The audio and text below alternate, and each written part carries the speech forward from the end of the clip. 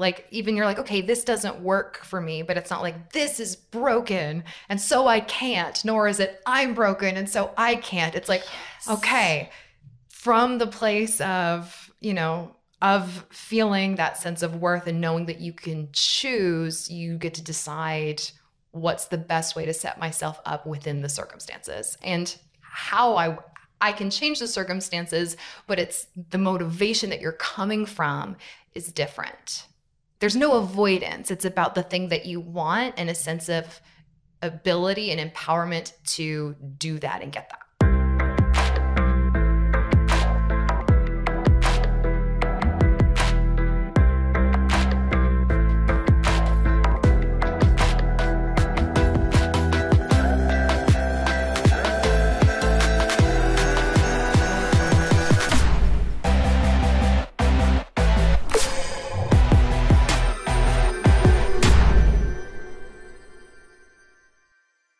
Welcome back to the Mind Change Podcast. Uh, I'm your host, Heather McKean, and back with us today is McKenzie Brewster. Hey, y'all. Today we are going to be talking about feedback and when do we change internally versus when we need to change things externally. So, before we go on, please take this opportunity to subscribe, download, follow all of those things that you need to do to help us to keep creating new content, free content. Uh, we would love to see your reviews, what you are liking about the podcast, and it just helps us get better. And we want to do this for you. So uh, do all of those things and help us help you. all right, thanks. Okay, here we go. Welcome back. Thank you. Again. Thanks for having me. All right, so feedback. Yeah. When do we change internally versus possibly the need to change things externally. Mm-hmm. Okay.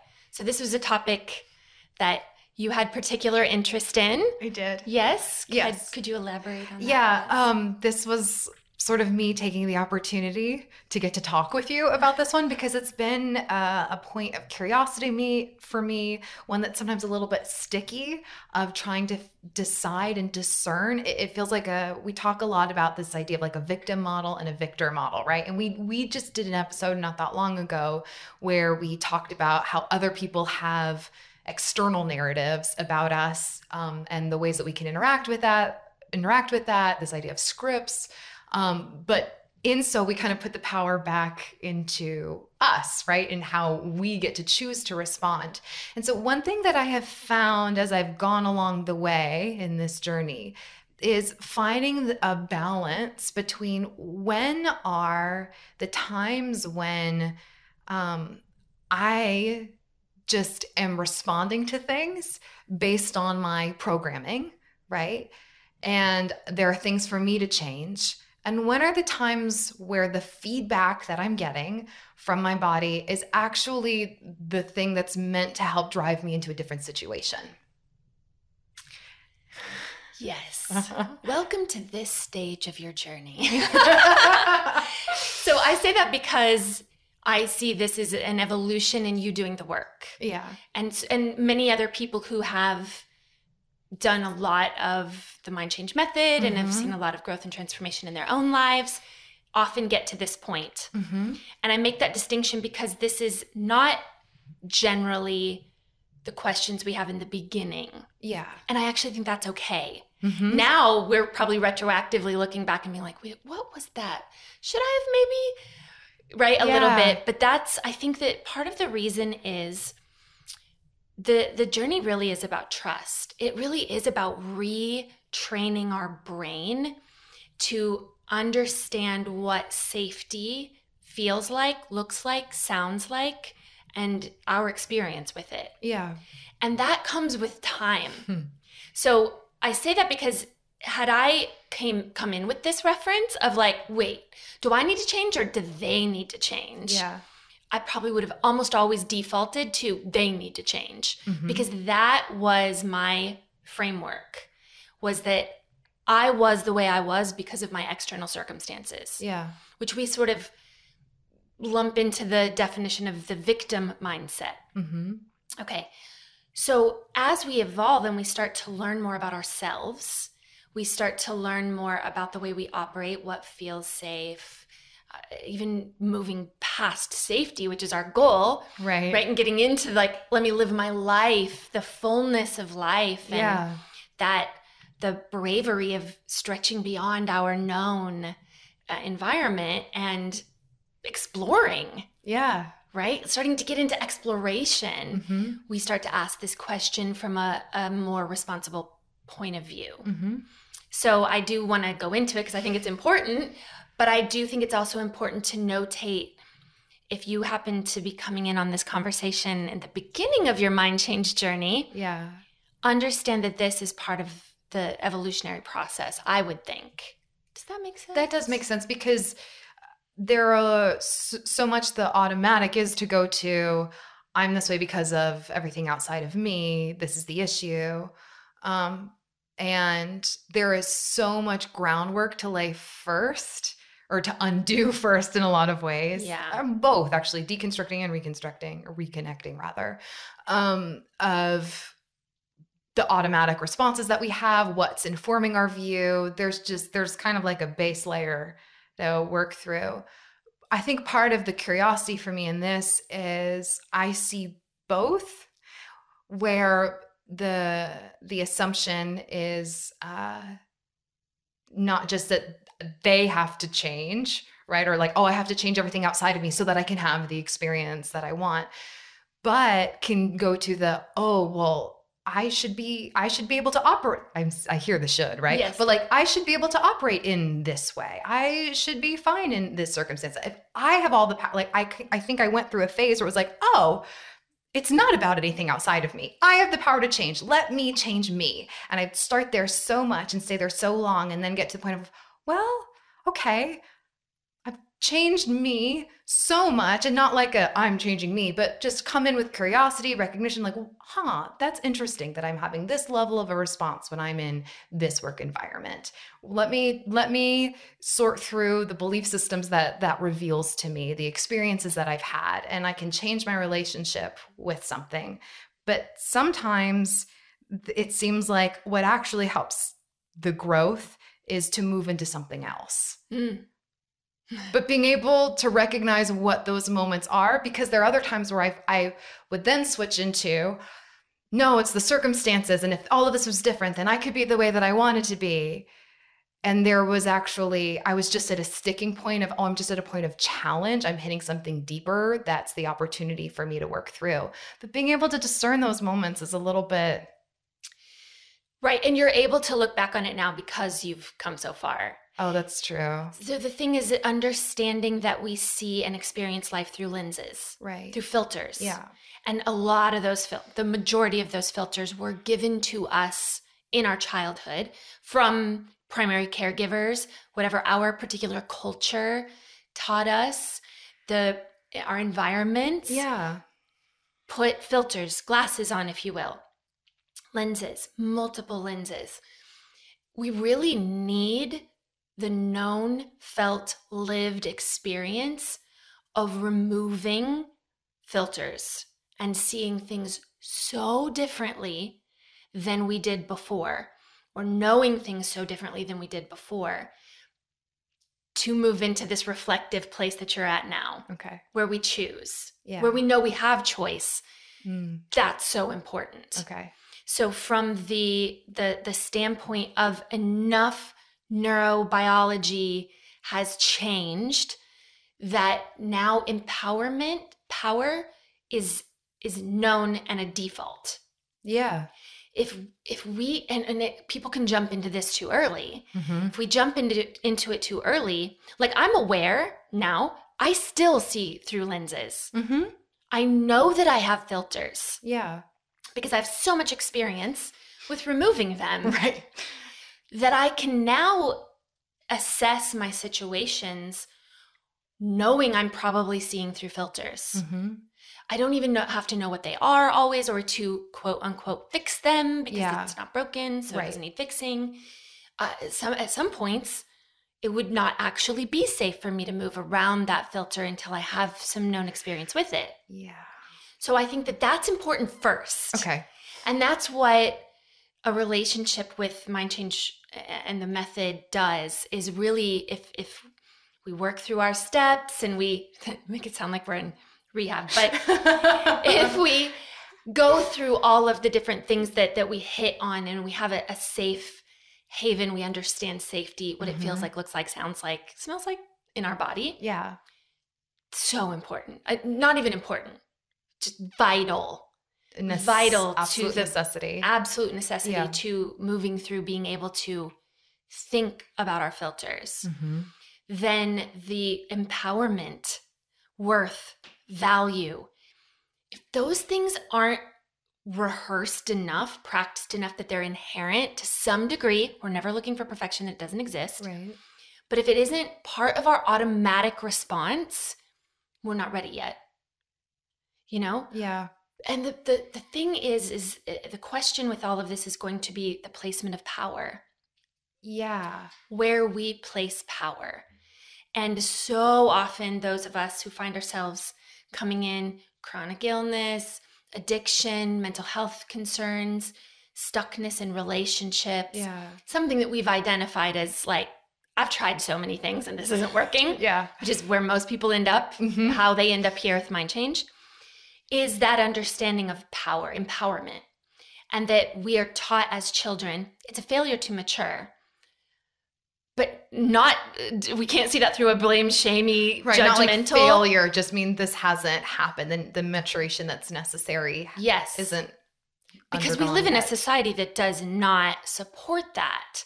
So that's right there yeah. one of those things of like what needs to change. Right I don't want to interrupt your thought if you're no, going no, no, somewhere. Go. I can keep. Well, it's because part of it is, you know, sometimes people come in with a problem, right, that they see as the problem, and and this idea that we can kind of change anything, right? We know that we can input output, but sometimes it's like we're we don't even recognize that we're working within a frame that has presupposes, like presuppositions yeah. that may not actually be the thing that helps us the most, that serves us the most. Like I think about, you know, there was that a time where we had so much less recess and natural play for children. And so they're having a hard time sitting still in classrooms. And it's like, oh man, look at that problem child and wanting to medicate them because they can't. But what we were asking of them was unnecessary, like, was actually not healthy or helpful and they weren't the issue the circumstances what we were asking is more so the issue and not that anything has to i'm at a point now where not everything has to be a problem to be a preference. Mm-hmm. Um, but and I so things like that, or I think about you know there's this um, upsurge in our identification of hey, we all have different strengths. We process in different ways. Some of those are natural, some of those are adaptations that have come about from maybe um, not ideal circumstances, but here's the brilliance of how our brain has responded and like what are the points of you know where we're looking at the thing that we're aiming towards that we want to change is this is this because this is like a cultural thing or is this actually an issue. Does this make sense? It totally okay. makes sense. It totally makes sense. Okay, I've had a harder time completely framing this, but I just it's just it's something that comes up to me like this more subtle thing with victor victim mindset and this level of discernment in in the empowered choice of like when do we choose to change ourselves and when is the empowered choice to be like oh you know what? Okay cool. I'm actually gonna how i'm gonna handle this is i'm gonna change my circumstances. But when i'm doing that it's like it's not necessarily changing like the the power isn't in the environment. It's almost like i'm actively choosing to change my environment to better support this thing that i'm trying to cultivate yes okay let's break this down into a few practical examples that I think would be helpful. Okay. Let's take the one you used with children. Yeah. I,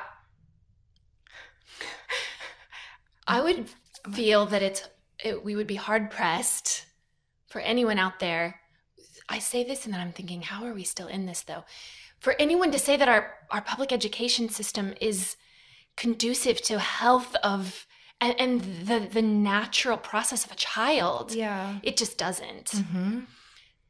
so but then so then our answer then is change the system anybody I would think knows that that's not necessarily an easy thing to do. Yeah. Nor I can't, as much as I would love to see that change in my lifetime, I just don't know how that's actually going to happen. Mm-hmm. So then, how do we handle that? Yeah. Do we go in and program a child to sit still for eight hours a day with information bombarding them? Is that My eyes are open so wide right Yeah. now in the horror of the idea of that. Right. no? That would be Yeah. so. So this is sort of sounding like we have the power to actually do that. We don't. Mm. That goes against natural programming. That goes against design. Yeah. Like just we, we can't go in and make changes against design. Then we're dealing with maladaptation. Yeah. And that we would never be wanting wanting to do. Mhm. Nor I think can we. We give ourselves way too much power and credit thinking that we can go in and program a child to sit and do this. No uh, people out there, world, society, we can't and that's the problem. Right. But now we're just trying to medicate them into submission and into this, you know, different, it, the framework's broken. So, no. now, then, how would we deal with a child in that situation? Yeah. It's all, we can help a child in that environment. Mhm. What do we then just leave them? Right. We give them nothing? No, we empower them. We go in and we help them understand that it's society is broken, not you. Yeah. There's nothing wrong with the you shouldn't have to sit for 8 hours a day. yeah. How do we then empower that child to make a different choice? Well, that's going to look a lot of obviously then this really gets into stuff because you have to have parents on board to help that child figure out what if they were given agency Mm-hmm. and we remove that there's anything wrong with them because that's what's happened society the education system and we're not trying to turn, turn this into a No. Complete like no. you know story on the education system but it's a great example and you brought it up that what that does children do not have the framework to understand that the society is broken that the that the the system is broken Mm-hmm. then they internalize it that's what children do Right. so they feel broken Yeah. that's what we can help And that's, I think that's part of where sometimes I'm like not sure as I'm encountering some sort of challenge. I'm like, okay, let me deal with all of the beliefs that come up about myself, how I feel about this. But then there are things where uh, should we be able, like finding the balance of, because there's been so much of that internalization of there's something wrong with me or I'm broken or you know a sense of helplessness it's like okay great working through so many layers of that. And then when is it that oh man i'm getting stuck on it.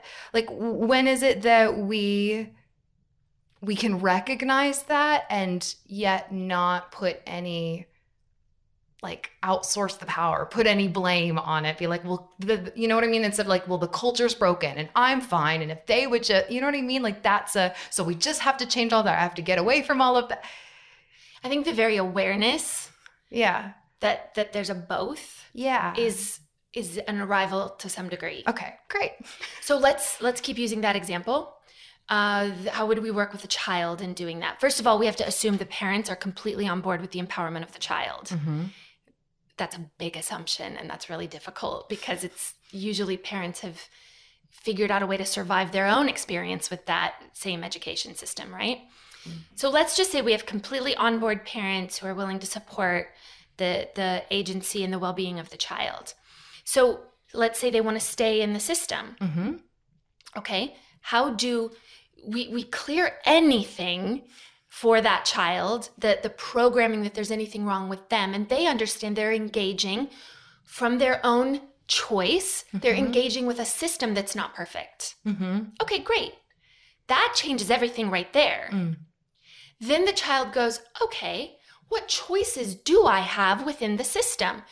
So it's coming from a place of empowerment Mm-hmm. then the child may say, All right, do I have any agency over my schedule? Do I have an ability? This is a lot for a child. Such a lot. But I Mhm. have seen it in some children. Okay. Now, when we're talking about before the age of 11, that's just, it doesn't, it really doesn't exist. yeah. That we do not have the amount of prefrontal cortex activity to think abstractly, Yeah. to think in these realms. So that's really hard.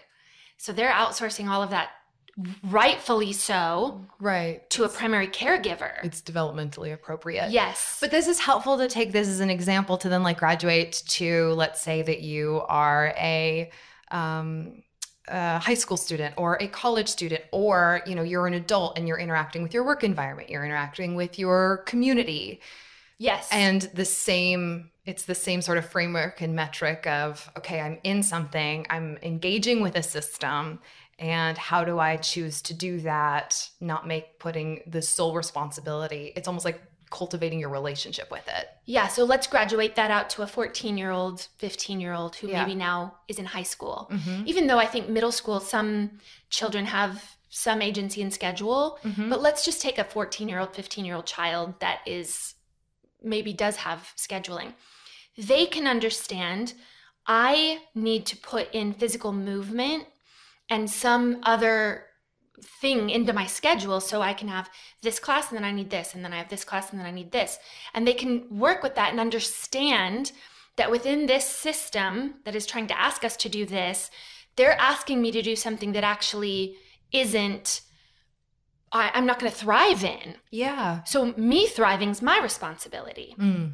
Can I thrive within this system? And they may find some ability to do that within their schedule. mm-hmm. What that does is they understand that they're dealing with a system that's not fantastic, Mm-hmm. but they're going to thrive anyway Mm. okay because they've got now some agency over schedule. Now, there may be another child who is like, okay, the way that I'm going to thrive is outside of the public education system. I'm I'm going to choose to online school, homeschool, co-op school, however, school outside of traditional schooling. mm-hmm. that's the way I'm taking agency. And that's the way I'm going to handle this. But I if if my motivation is it's broken, I keep like I have mental health disorders now because of it. I have ADD because of this or or I can't because I have ADD or ADHD. yeah Um every child would have ADD, ADD, ADHD trying to exist in that system. It doesn't work with brain development. It just doesn't. Now, I'm not saying that that's it's a whole different system with people who are actually diagnosed those things. And let me tell you, though, it's the, part of why it's so hard is because the system isn't working correctly.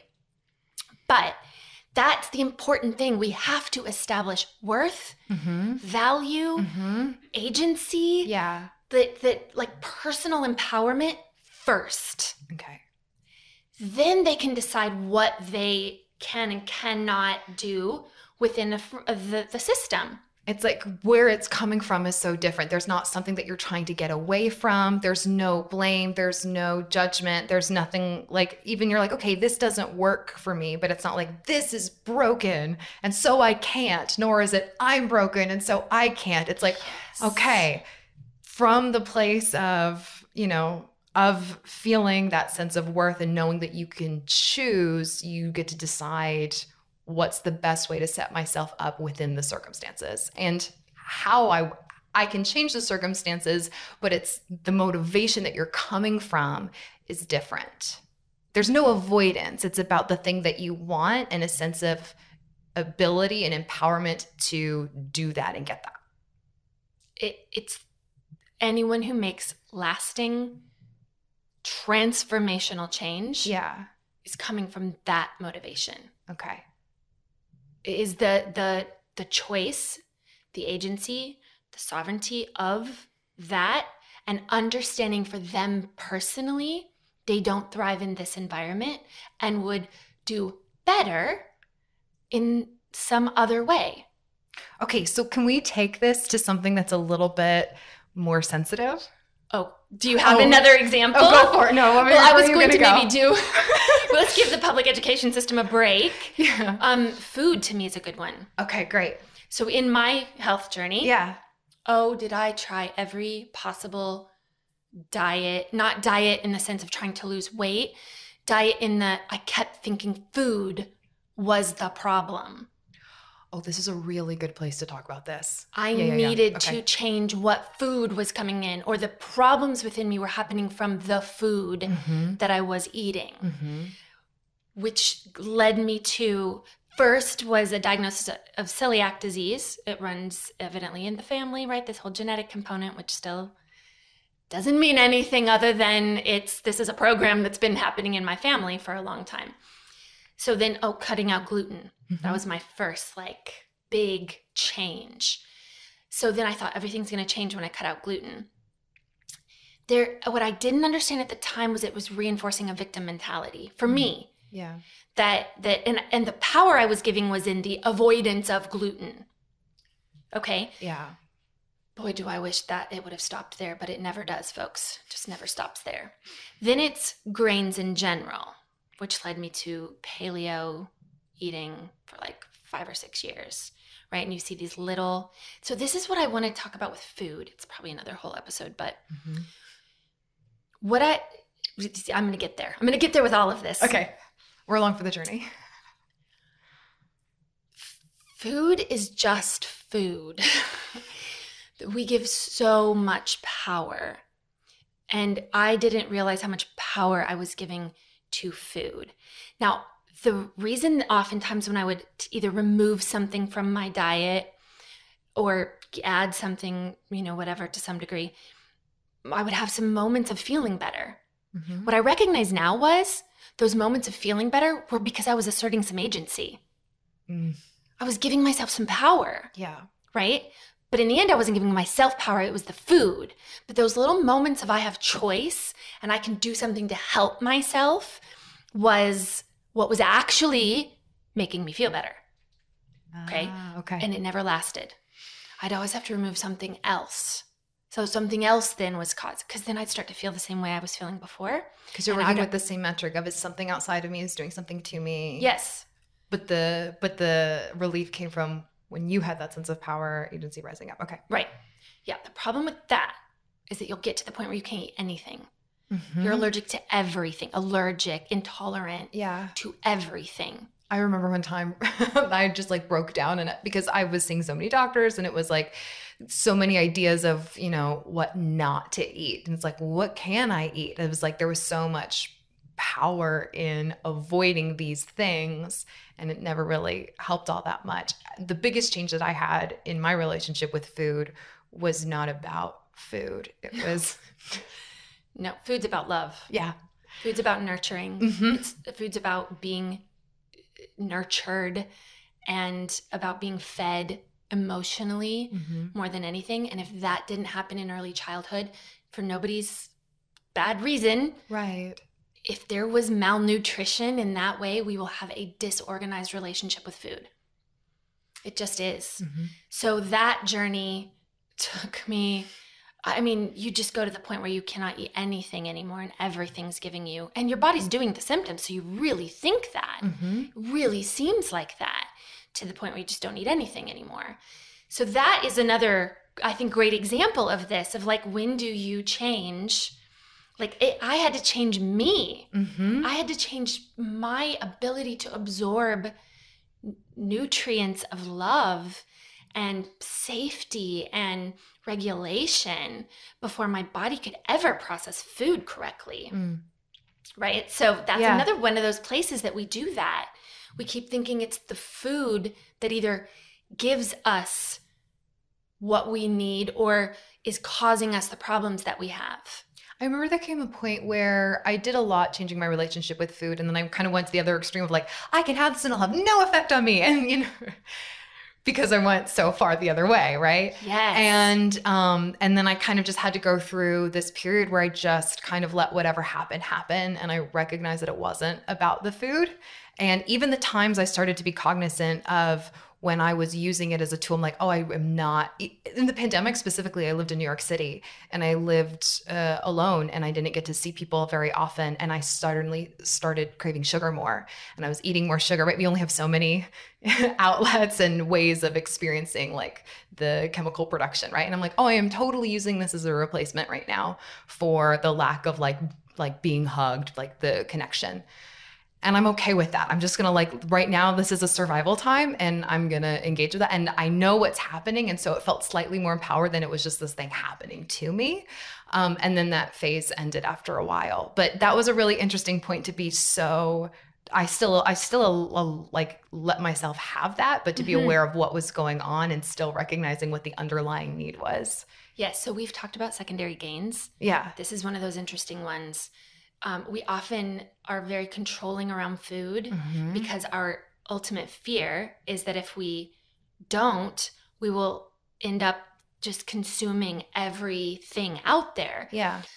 And that that those extremes are still that bit of lack of trust. So we've got more work to do here before we start having to con- you know do the food control. Yeah. So when we start to realize, like, oh, wait, so worthiness is so huge because people think, like, oh, I will just eat junk and trash if I don't control the way I eat, right? Well, the way I Uh-huh. think about food. So I've got to label foods as bad foods Uh huh. or I will, won't avoid them. hmm The thing that we just don't understand fully is that when we have value and worth and it's known and it's experienced and we're not just trying to like positive affirm that every day to Right. believe like we're not just trying to say it in the mirror every day so that we maybe believe it eventually Yeah. when we have experience with it and again not a rival but just enough where Mhm. we know that it's there we actually feed our body in an appropriate way in a way that actually you will crave nutrients Mhm. versus those dopamine hits of sugar Mhm. you will start to actually crave nutrients. I can tell you this happened to me. And it's where I, and I am not getting into the rights or wrongs or highs or lows of any of this, but I eat a plant based diet. So I try to eat whole foods plant based. Um, the, th- I started craving nutrients, nutrient dense food Mhm. rather than the fast easy food and it was started it aligned because i was starting to crave more deep nutritious experiences Mhm. relationships Mhm. that was more what i was feeding myself on an emotional level Mhm. and then the food just replicated it Right. It was diet wasn't the way in. It was just it, it wasn't something like you thought about and planned out. It was just as you worked on this one thing, you found that you naturally were drawn to. it was a lot And easier It was intuitive, sort of. yes and that whole thing about intuitive eating Mm-hmm. Like I did try that before before and then I was like intuitively I want to stuff every sweet and thing that thing into my mouth Yeah. because intuitively I needed love Yeah. I needed nurturing Mm-hmm.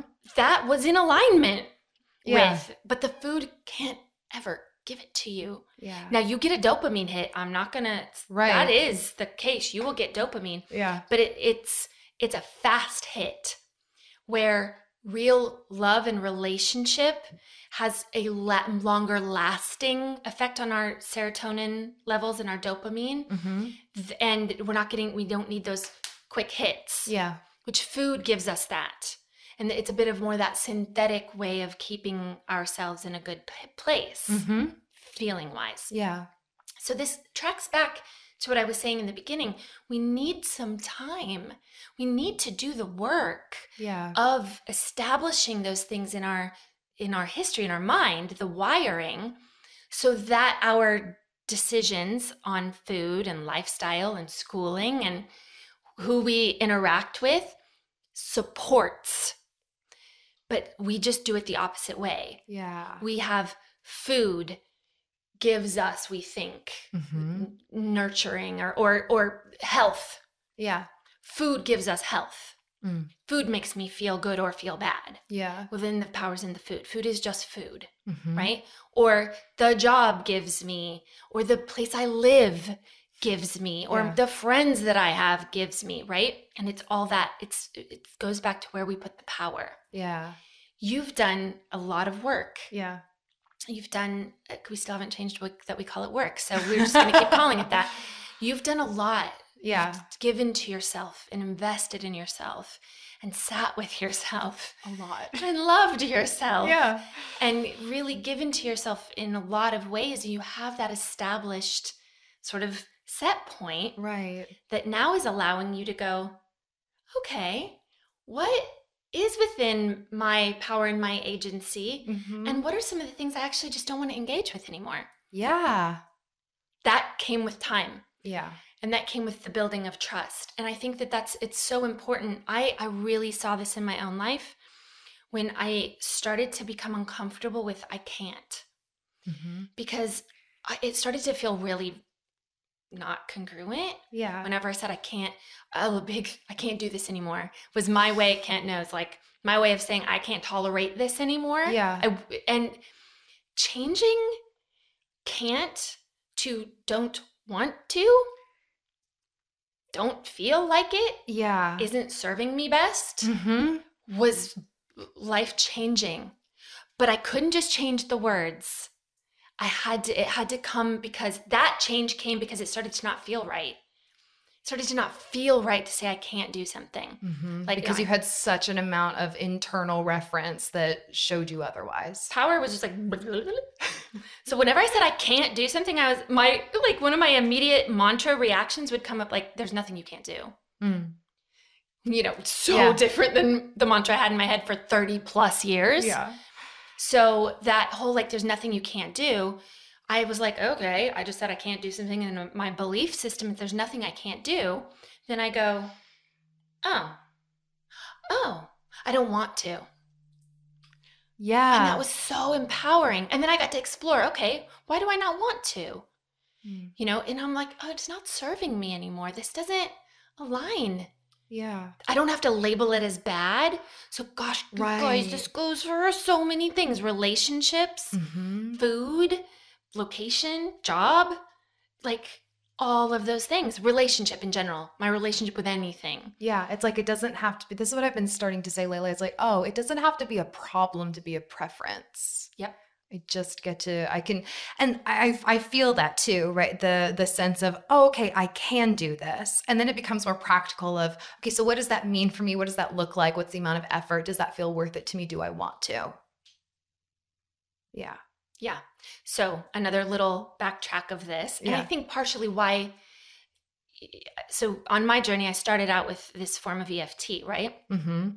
And um, and I didn't realize it at the time, but what I noticed is in the community, like if someone would start crying, Mm-hmm. they would say, "Tap on that," like "T- you can tap on that, and and everyone would say that, like you can tap on that, you can tap on that, Yeah. and and and yes, you can, I guess, like do the yeah yeah no no no no no no no no no no no no all these things, right? But I started to to have some. I, I saw over time people just shifted this into a coping mechanism. They were just using it to avoid Yeah. Discomfort. Mm-hmm. And I was realizing, like, no, actually, there's a lot of growth in that discomfort Mhm. phase. And why would I try to tap on crying? Right. Like, oftentimes the crying was a message to me that there was something deeper. It was an invitation. Mm-hmm. And if I just tried to it away, I was missing Yeah. things. And so the people that had gotten, had stayed in that system for long periods of time, Mm-hmm. I realized were um, just had gotten really good at avoiding with this particular modality. Yeah. And stuff started to come back up again. And I was like, ooh, I don't want that. like something, what's this? Yeah. And that's where I came away from that and wanted to have a different framework around that. Mm-hmm. So it's the, but I needed the, I needed the time and the trust built with myself. So I do want to keep saying that Yeah. if you're like first tuning into this, it's your first episode, please go back and listen to the other ones because Yeah. we build. This Yeah, is one we're of those things building. we build on. This is definitely a building one. This episode, especially. yes, is that you like you've got to. Otherwise, we're trying from that that out in. Right. Oh, oh, you mean all I need to do is say I don't want to rather than I can't, and that's going to change everything. Not if in your mind is like you can't, you can't, you can't because you're not worthy and you da da da da da da, and you have all these mantras that are continuing. We're not cognitively bypassing the subconscious resources. We're working to ch- like actually change the building blocks from which our beliefs are formed. Yes, otherwise you are saying you're doing it the way we're talking about and you're still doing it the other way. And then that creates this incongruency, this cognitive dissonance that can, can cultivate a lack of trust. Then you'll say mind change doesn't work. and I would say not the way you're doing it. no, not the way. And it doesn't mean you're doing it wrong. Right. There's just a different, you need to come back. There's some foundational things that have probably not been met. yeah. And there's a good reason for that. Mhm. Nobody's doing it wrong. You're not a flunky. These are all belief systems, Yeah. right? Of like, Yeah. I can't do it. Maybe the approach needs to change rather than the modality. Yeah. Because we see a lot of people modality hop for this reason too, Mhm. right? So, yes, the, those two examples of food and then also just the, you know, all kinds of stuff. Does that help? That does. Do you have a more sensitive entry point? Well, I was just thinking about I re- reflecting um even just with some clients who've been coming in uh families, like you know, family situations and as you go through these layers, you know, things that you think are really healthy because or I'm thinking right now of a specific example. Um, I knew I had a friend who was uh, dating another friend of mine and um, got really close with their family. And they had thought, oh my gosh, they were kind of being called out on their uh, lack of thoughtfulness and compassion with other people. And they're like, as they started to kind of like recognize how out of tune they had been in considering other people's um, reactions and feelings, it was really helpful to them. But then there was a little bit of this extreme, right? They're like, I just now I want to be a person of compassion and I want to do it. I want to be really healthy, like this family. And I and as I saw them, I'm like, oh, there's a great deal of enmeshment here.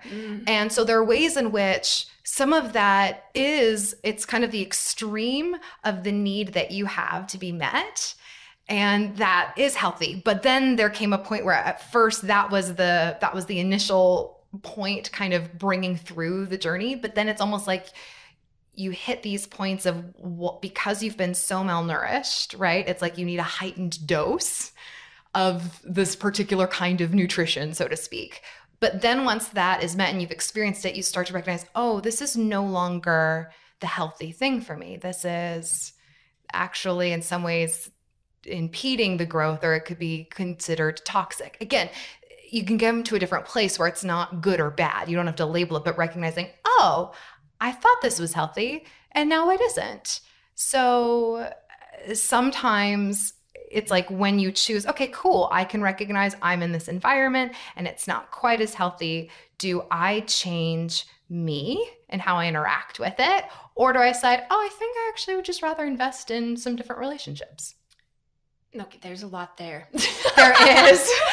And I kind of transferred. I started with like an outsider because I thought that would be easier to contain it because it seemed a little bit clearer. And then I shifted it to be about me. I think if I'm getting really personal, obviously, there are times where I recognize that and, and I've, I will, I have more of a tendency to be like, oh, okay, cool. Let me change how I show up in this environment. Let me change how I am in this relationship.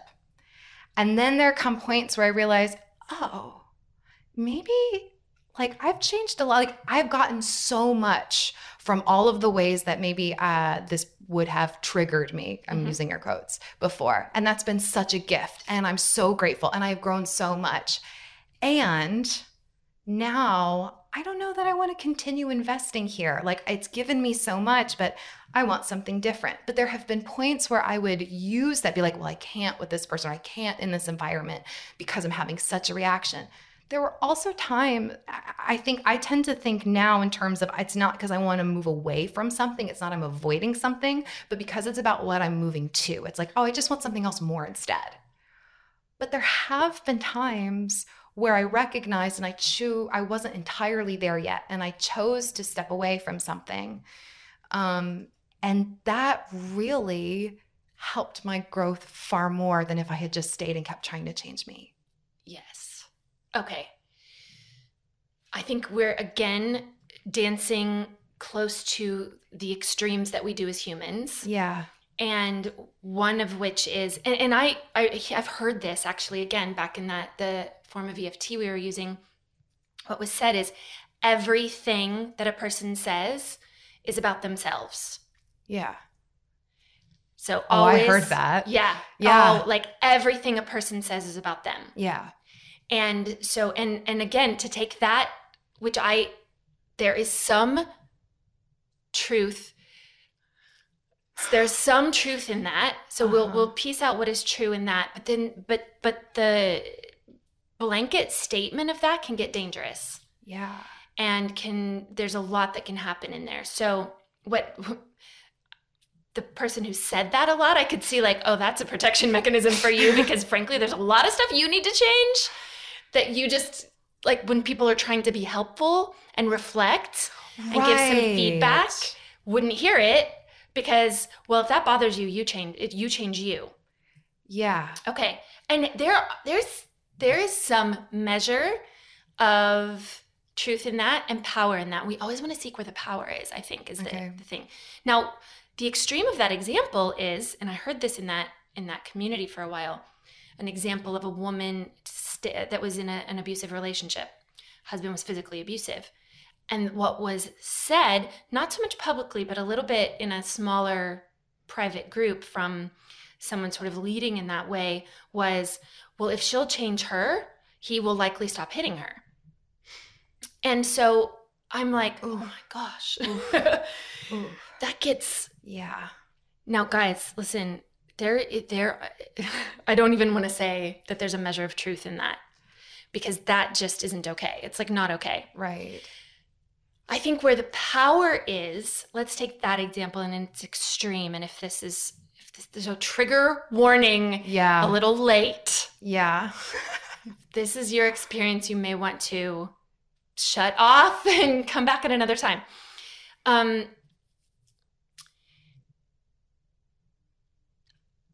okay. how, do I move forward in a Uh-huh. gentle way? No, because I'm addressing this because this was said, and and we want to make sure no that we're never lumped into that belief system because that is not a belief system I think we align with. No. If we get into the the nitty gritty of that, Mhm. and, we're, and let's say we're helping this woman as a client are there things that she removing her from that situation of course like physical abuse Yeah.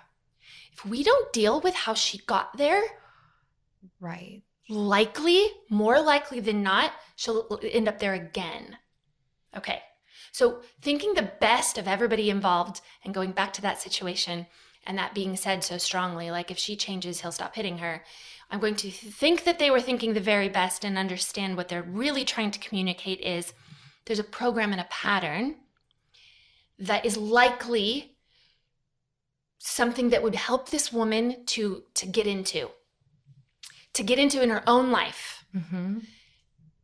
that's what I would say. In no way would I ever want to that to be construed as as the fact that we are saying she is somehow anyway responsible for the fact that she's being hit.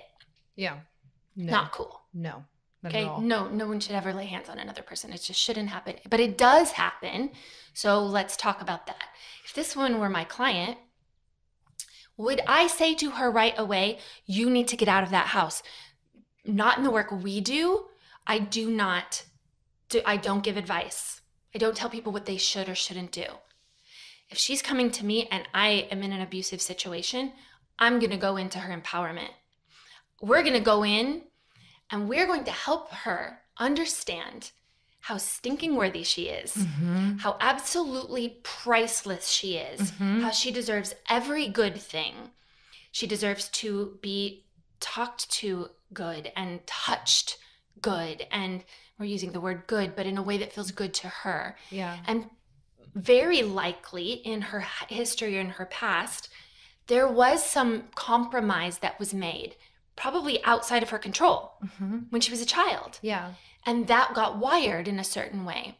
So, what we want to do is empower her and give her the power so that for her, Mm-hmm. she's would if something were to happen, she would that would be so incongruent in her body Mm-hmm. and in her mind. Yeah. She'd be like, "Oh heck, no!" like, right. um, no. yeah. And the leaving would not be a question Right. if that's the case. Now, now that does not mean she shouldn't get out of the situation. I'm not saying that. I am not trying to make any blanket statements on on domestic violence here. That's not the goal. Yeah. What I'm trying to say is for her the best thing or him, the, whomever, they need to really deal with what's going on inside of them. Do they have to do that while being while staying in the situation? No, if they really I think in a physical abuse situation you need to get yourself into a safe place. Mm-hmm. Now that means a lot of different things. Like get into a safe place. Don't allow that to happen any longer. But then the works begins there, right? Now I know and, and I do understand I come from domestic violence. That's not always easy. Getting out of that is sometimes life threatening, the getting Yeah. out of it. So again, we're not doing a domestic violence episode here. Right. Not speaking on that in any way, shape, or form. What I am trying to say is avoiding the extreme of the the power being outside of her, making it that the only like the it's everything's going to change and she's going to be better in every way, shape, or form by just removing herself from the By physical only violence. dealing with the external environment. Yes. It's an example to look at how there's there is a reality to the external environment that we are in Mhm. and to the internal environment how it interacts with that. And so just dealing with the external environment isn't going to give us the fullest amount of change that we want if we're not dealing with the internal one. Yes. Yes, absolutely. Now, guys, I know that's such an extreme example, and I'm sure people are just trigger, trigger, trigger. I get that. Yeah. And it probably would have felt triggery to me too, coming from a history of that. But what we're, I, if we can sort of step, take one step back of our personal experience and take this as a whole, because if we keep putting the power outside of us, that we can only change and have any sort of worth, value, or power if the circumstances outside of us are ideal. I think the thing I would like to, people to hear me say is I'm not sure we know what ideal is until we've dealt with some of our own stuff, Mm. until we've gone back and said, maybe, maybe what I, maybe my level of ideal is actually so low and doesn't give me much value or worth Mm, maybe what I'd be willing to settle for, like, don't just settle for the fact of someone not hitting you. yeah. That's a low level settle. Yeah. Get out of it, but low level, that's a low level settle. And I, we want people to do more. Mhm. Like, know how valuable you are. Know on every level why that wasn't okay. Yeah. and even to be able to make peace at some point with saying with that person who was was the abuser like to hold on to that person being evil and vile and dangerous and everything and, and so scary actually doesn't serve that person in the long term either in the beginning it, it might be the motivation they need to leave Mm-hmm. and that's okay that's one of those things that serves someone in the moment Mm-hmm. but maybe won't serve them long term because then they're going to see through the lens of abuse and victimization in a lot of different areas Yeah. and that can actually hinder them Mm-hmm. so there's there's i'm not wanting to minimize this because there's a lot of work that needs to be done in there but that's a very extreme example where this work taken from that level of like you just change you just change you Yeah. you just change you and everything's about you know like no no no no not everything's about that woman that there's that there's two people and there's something happening on that other side or that man there's something happening with that partner that is they need to deal with Mm-hmm. clearly Mm-hmm. you just changing you and figuring out you're worthy doesn't necessarily equate to that person not doing that anymore now that being said we've seen that happen i've had clients where this happened where physical abuse was present Mm-hmm.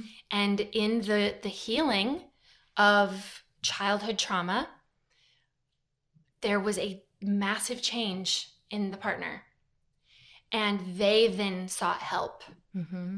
and so and i don't think it was one of those um like very very dangerous situation it's all dangerous because anything that damages our worth or speaks against our worth and our value is a i think a dangerous situation but there has been changes and there was healing Yeah. and there was the that change in that person them recognizing their worth and value then sparked that in the partner Mm. and they wanted to go on that journey and then they are in a just a different relationship altogether because they both entered into a different relationship with themselves first and then could enter into that that joint situation, that joint relationship very differently. That's a lot of layers. Like that's a lot of different stages for Yes. yeah. So to put that on someone else and be like, well, you know what could happen? Yeah. if you work on you, he could stop or she could stop. Well, yes, but you've you need your protection and your safety and your value and your worth and and learning all of that and finding a place where you can in safely invest in that is the utmost concern. Yeah. And so sometimes we say this actually, and this is why we will not work with teenagers. Not that they don't need help, because, oh heavens, growing up where I bless their entire soul. but if we get in with a teenager Mm-hmm. and we change some of their coping mechanisms, and yet their environment has not changed. Their primary caregivers are still, maybe to the best, doing the best they can, but are still offending in a way that the teenager's problem is actually a coping mecha- mechanism to stay safe in the family environment Yeah. for us to go in and tell that child, that teenager, well, here's how you need to change is not, it's just reinforcing the problem. Yeah. So the teenagers do need help. But what we always say is if there's someone who come fix my teenager, we, no, the parents need to do the sessions first. They need to do the work first. Yeah. And quite often, and that's one of those things, quite often they see really different behavior in their teenager all of a sudden. Mm-hmm. So strange. Those internal scripts changing. Okay, so that's interesting. Take the where this has gone and working into working with We're teenagers. actually going to release this episode. I don't know. and, but going back to um, where you were using an example of we were talking about kids in school and it being okay, this isn't the ideal environment. But we started that with you're like, okay, here are the preconditions, right? Is everybody's on board?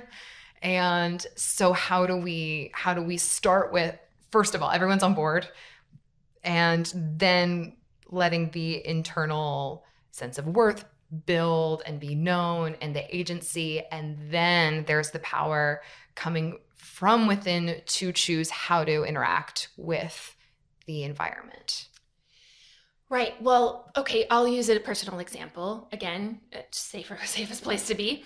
Uh, it was with Kent and I actually. yeah So uh, over time, with my change, you know, and understanding how uncomfortable that was for him, I realized that unless the like environment changed in one sense, unless Kent decided to come on board and do some of his own work, like we weren't going to be able to keep going forward. Didn't mean I didn't love him. Didn't mean I couldn't maintain my changes right right? Or that somehow the power was outside of me. I just realized moving forward, the way that we're interacting, I can be just as patient and everything, but it's him. His worth and his value is trying to come from me. And that's not something I'm willing to accept any longer. I don't accept responsibility for someone's happiness any longer. mm-hmm. And so that's where that uncomfortability was uncomfortable for a long period of time. yeah And rather than threats or ultimatums, I did maintain a, a state of the best thing for both of us moving forward is if this dynamic doesn't change, then it's not healthy for us moving forward for either one of us. yeah And that's kind of the, the space that I held. And I really made it about the dynamic because the dynamic presupposed there were two people involved, Hmm. right? Or, or multiple, if we're talking about a family dynamic, there are Yeah. multiple people involved. And mine was I am unwilling to continue moving forward in this way. And thank goodness he decided to do the work. yeah Had he not, I don't think we could have stayed married. Not because I'm like, haha, I'm better and now I don't love you anymore. No, not like, in fact, I loved him more yeah because I loved myself more. yeah And I realized that the the old patterns, if he wasn't going to be able to maintain them, this was going to be miserable. He was going to be miserable. yeah and I was going to be miserable and that wasn't going to be good for either one of us. Mhm. So that was and and it wasn't an overnight thing. This this was in years in the making. Right? So it wasn't a rash decision and it was a lot of conversation and a lot of meeting each other where we were at at the time and evolution. Yeah. And so I think that's a great example Mm-hmm. where you know the environment what it didn't have to change Right. but over time it, i wasn't going to engage with it anymore in that way why because i was giving power to the environment no i was i was staying in my power and saying this isn't best. This isn't thrive ability. This Mhm. isn't actually the best for our children. It isn't the best for this person other person that i love. And it's not the best for me. Yeah. and that it was all of that was okay. And so you know I've, that had to change a lot of or challenge a lot of frameworks Mm-hmm. that we were staying within. But you know and it was really good. Yeah. and he did make a lot of changes. And i made a lot of changes based on the changes he made Yeah. so i don't want to make it sound like i'm great and then kent changed and everything was better as he evolved and changed it called me out a lot more with the way i was like oh that's just uncomfortable him stepping into part, particular parts of his power Yeah. were uncomfortable for me Mm-hmm. and i had to then deal with the way that i felt about that yeah. and I think that's more where we want to land is feedback. And I started to see that as all of it is feedback. I get to choose how I respond to it. Yeah. And I want to respond in a particular way, but it doesn't mean that I have to stay with that stimulus continuing to happen. Mm-hmm. I can I still have choice. And if I choose to that was my choice. Yeah. I have to own that. Yeah. But I also have to say over time, this isn't the kind of stimulus I want to keep having to to challenge. So I'm just not there. And I want to move on. Yeah. I want to move into something different, like you said. Yeah. So I don't, I can't, if I, this is bad and this is awful and it's the only way I'll move forward, now I've given it power Yeah. rather than I have the power and I can change and I choose that I choose to see that right now this is not the best thing for me. Understanding I choose to see it that way, which means I am aware I may be filtering it. Yeah.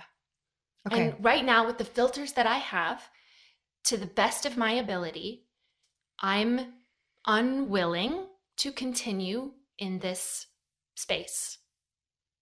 And then I will make an adjustment to that. Or sometimes, and then I realize, like, oh, I'm the one that needs to adjust here. And other times I realize, like, it would be more comfortable and for both of us, it would be better for both of us for there to be an adjustment on the other side. And then I give space for that. yeah. Does that help? That does actually. All the different spaces that we go it went to Right. exploring this, some really extreme examples, some subtler ones. Yeah, but it coming back to it's a progression of the work. You get there later. You have you really need all of those steps, but you get to a point where you understand you have filters.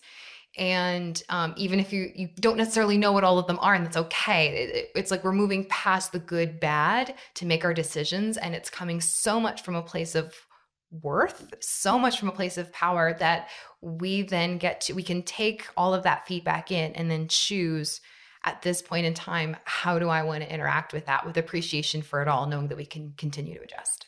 And it really goes back to our tagline, Right. which is changing the world one mind at a time. That's really the only way the world will change Yeah.